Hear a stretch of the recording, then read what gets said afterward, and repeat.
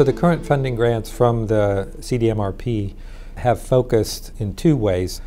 One of them was really designed to take advantage of the newest technologies in uh, genome sequencing. The proposal was designed to identify all of the mutations or alterations in the genetic alphabet uh, of a prostate cancer cell or a prostate tumor. Uh, primarily, we focused on those prostate cancers that had spread uh, or metastasized to distant sites like the bone and lymph nodes. So it's been a, a joint project with Jay Shendure at the University of Washington, who is one of the pioneers in this next generation sequencing. So the idea was to take advantage of this to comprehensively look in prostate cancers to identify the mutations, those changes in DNA that were responsible for activating cancer genes or oncogenes or inactivating tumor suppressor genes. And we had the opportunity to look both at localized prostate cancer and importantly metastatic prostate cancers through what was called a rapid autopsy program at the University of Washington. The preliminary data that emerges is that prostate cancer seem to have a far fewer number of mutations than many other cancers that we deal with. But interestingly, we found a subset of these prostate cancers that were hypermutated. They had about 10 times as many mutations as the average prostate cancer. It looks like there's a genomic mechanism that leads to this instability. There's a, there are several genes that are sort of gatekeepers, if you will, for correcting mutations and not letting them happen.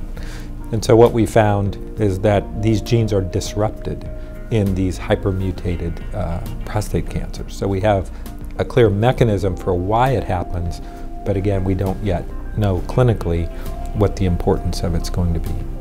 We may be able to exploit that because you might anticipate that these uh, genomes are unstable and might be susceptible to certain types of chemotherapy. And so that's what we're now starting to study.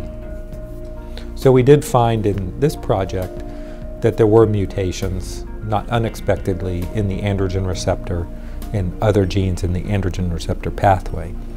Um, and so that overlapped or segued with the other proposal that's been funded by the CDMRP.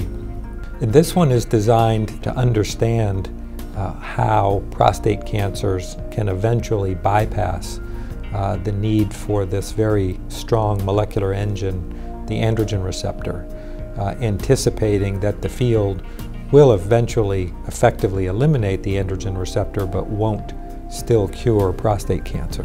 So we want to understand what those drivers are. And we've identified several that we hope can be exploited in the future as therapeutics um, for those prostate cancers that eventually progress on the newest androgen receptor targeting agents.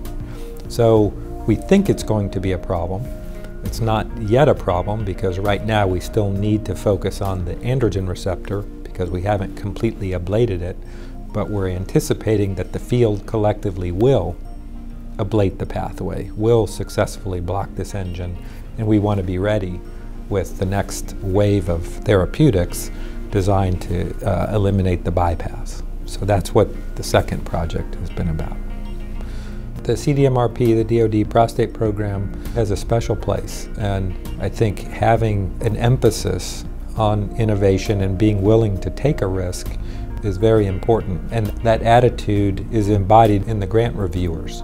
So certainly those of us that sit at the table reviewing these grants put that uh, at a very high level. We don't want to just look at the next incremental advance. Uh, and so when we're reviewing these proposals, um, that's at the forefront of the thinking. So we'd rather take a risk on something that really may not work but has the potential that if it does work, it's going to change people's thinking or catalyze a, a more rapid advancement rather than something that just looks like it's going to be a small step forward.